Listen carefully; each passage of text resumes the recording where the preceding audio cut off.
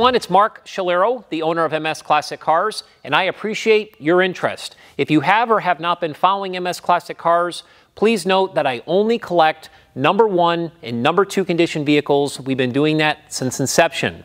I'm very proud to say that we are the only classic car dealership in the country that methodically services every vehicle that we sell. We document the work with an invoice. And trust me, they all need sorting out. Once they're done in our service department, we bring them into our detail department and we clean them to the highest level so they are ready for you.